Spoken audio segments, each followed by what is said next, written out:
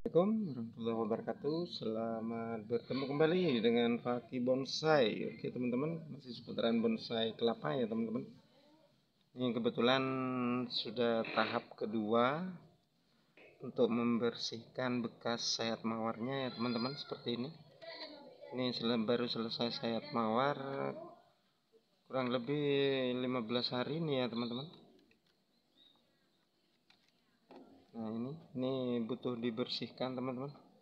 Jadi kita meneruskan sayat mawar lagi tahap kedua ya teman-teman. Soalnya ini sudah jadi daun. Oh ya teman-teman jangan lupa ya di like di komen dan di subscribe agar videonya tambah berkembang dan tak lupa juga buat teman-teman semua semoga sukses selalu sehat selalu dan murah rezeki. Dan tidak kurang satu apa pun. Oke kita langsung saja ya teman-teman.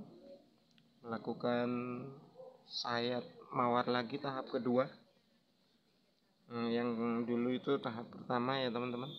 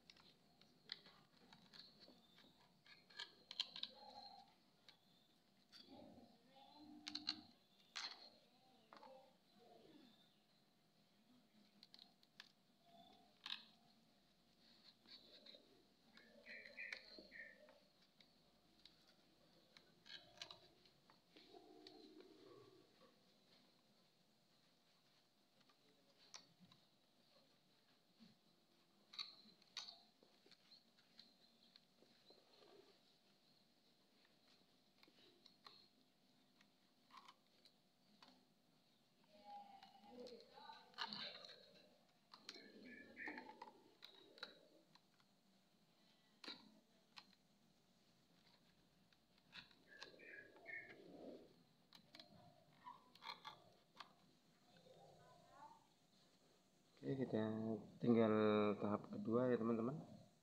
Sehat mawarnya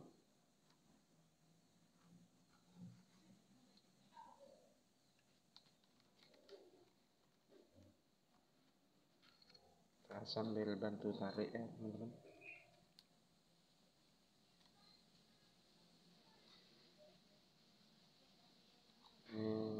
Intinya membuka sungkup daunnya ya teman-teman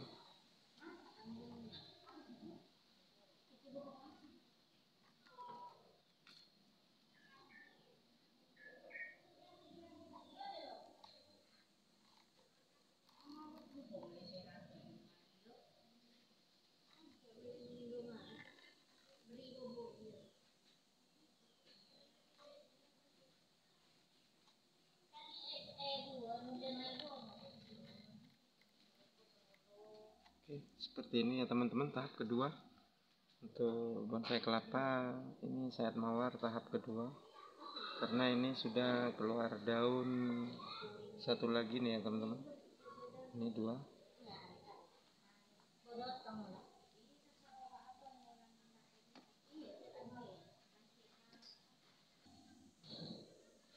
Ini sudah selesai. Sayat mawar tahap kedua. Kita tinggal nunggu keringnya lagi ya teman-teman. Kering. Nah bekas sayap mawarnya ini langsung kita buang ya teman-teman. Insyaallah satu minggu lagi ya teman-teman. Karena ini daunnya sudah dua. Inilah cara dari awal untuk pengertilan daun bonsai kelapa ya teman-teman Oke, sampai di sini dari Fakih Bonsai. Semoga bermanfaat. Assalamualaikum warahmatullahi wabarakatuh.